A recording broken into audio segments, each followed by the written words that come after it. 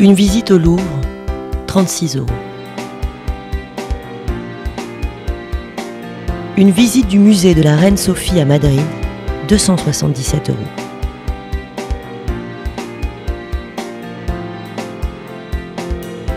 Une visite du MoMA à New York, 1352 euros.